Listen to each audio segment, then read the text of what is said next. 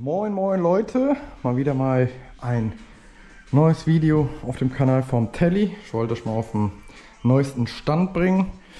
Stoßstangenecken habe ich jetzt dran. Provisorisch habe ich auch mal den Grill reingemacht. Ja, gefällt mir richtig gut. Ähm, ja, Gurte habe ich jetzt auch schon mal reingemacht. Vierpunktgurte von Schrot waren da drin. Und die ganz normalen Dreipunktgurte, die lassen sich aber noch nicht ausrollen. Vielleicht kriege ich neue oder ich gucke mal, ob ich die überholen kann. So sieht das jetzt aus.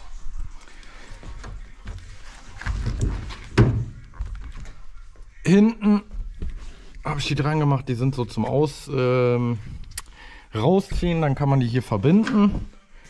Weil ich hatte jetzt nicht vor, den als Zweisitzer eintragen zu lassen. Und ja, das ist ja eine gute Alternative dazu. Jetzt mache ich gleich noch das Handbremsseil neu, weil das ist mir leider gerissen.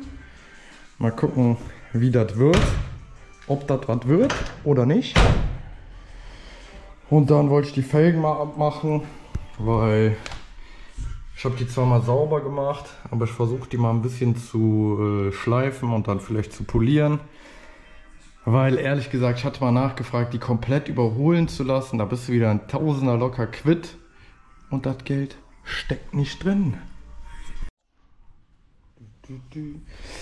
Heckstoßstange habe ich auch mal probeweise montiert. Ähm, Kennzeichenbeleuchtung liegt noch im Kofferraum, die muss ich noch dran machen. Die linke Leiste habe ich jetzt auch mal montiert, was mir aber dabei aufgefallen ist.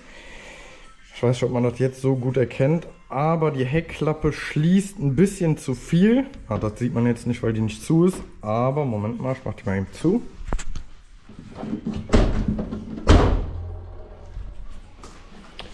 So, und zwar wenn jetzt geschlossen ist, passen die Streifen hier nicht mehr übereinander. Das heißt, auch wenn ich hier die äh, Leiste an der Unterkante dran mache, ist das krumm. Also passt das nicht richtig, ist das nicht in einer Flucht. Das heißt, muss ich die Heck, äh, Heckklappe nochmal ein bisschen einstellen, dass die vorher schon schließt, damit das vernünftig aussieht, weil kann man ja keinem antun, nicht? Ja, Heckstoßstange finde ich, also ich kenne das Auto quasi die ganze Zeit ohne Heckstoßstange. Dementsprechend gefällt mir die Heckstoßstange jetzt nicht so wirklich, aber ja, das will man machen, gehört halt dazu, ne? Ja, vorne die Stoßstangen-Ecken, die gefallen mir richtig gut, weil die halt auch nicht wie beim normalen Capri komplett durchgängig ist. Aber ja, hier an dem Abstandhalter also am Kotflügel wird der quasi festgemacht. Da geht eine lange Schraube durch. Und hier hat ich auch nicht mehr den Abstandhalter. Ich habe jetzt erstmal eine ähm, vom Schweißgerät vorne so eine Düse habe ich genommen. Das passt haargenau.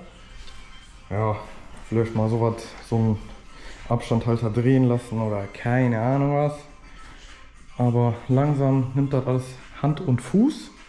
Gefällt mir richtig gut, bis auf die Kotflügel. Also hier der Kotflügel, Junge, Junge, Junge. Zum Glück habe ich da noch einen Original, der noch lackiert wird, weil, also wenn ich die Motorhaube zumache, ich mache die mal eben zu und dann... Also das Spaltmaß, finde ich, ist okay, habe ich halt nochmal eingestellt. Aber wenn man jetzt hier drauf guckt und jetzt hier, die steht auf jeden Fall ziemlich gut ab. Ich weiß nicht, ob man das gut erkennen kann, aber also das gefällt mir so gar nicht. Auf der anderen Seite Spaltmaß okay. Und hier passt das auch. Also, ne, ist einigermaßen okay. Damit kann man leben. Aber auf der anderen Seite, ich denke mal, weil der Kotflügel halt auch, weil was länger einfach im Regal lag, hat er sich verzogen oder keine Ahnung. GFK, das gefällt mir auch absolut gar nicht. Weil je nachdem, wie das Licht auch ist, weiß nicht, ob man das auf Kamera erkennen kann, aber total wellig und so. Also ja, aber habe ja jetzt einen Tipp bekommen von, von einem Kommentar, dass man in England bei Stil irgendwas kriegt man in Originalqualität Kotflügel. Sind zwar auch nicht ganz billig, aber das wird sich auf jeden Fall lohnen, darauf mal zu sparen. Aber man möchte ja auch irgendwo, dass das einigermaßen vernünftig aussieht, ne? So, ich mache jetzt auf jeden Fall erstmal das Handbremsseil und dann berichte ich euch nochmal. So, jetzt liege ich hier unter der Karre. Hab äh, das Handbremsteil habe ich jetzt neu gemacht. Hab's mir ehrlich gesagt viel schwerer vorgestellt, weil ich kenne das von neueren Autos, da kann das schon mal echt ein Kampf sein. Ähm, ja, vorne wird das nur eingehangen, dass man das hier erkennen kann. Ganz hinten, da wird das nur durch so eine Öse quasi eingehangen. Geht dann hier durch. Hier ist noch so eine, so eine Führung, sage ich mal. Dann hier um eine Umlenkung rum. Wird hier festgemacht. Dann über einen Umlenkhebel geht das hier an beide Seiten quasi zu den Trommelbremsen. Also wirklich einfach und ja, ich schwinge mich jetzt mal hier hoch. Mal gucken, was es sonst noch gibt. Ah ja, jetzt wollte ich mich an die Felgen ein bisschen begeben. Wenigstens mal eine probieren. Und dann gucken, was wird.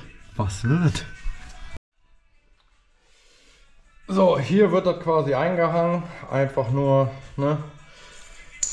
Hier ist er gerissen. Ich denke mal, dass in der Umlenkung passiert. Durch die lange Standzeit und so hat er angefangen, angefangen ein bisschen zu gammeln. Und ja, dann, als ich quasi die Handbremse gezogen habe, hat es einmal klack gemacht. Und dann war das ganze Ding durch.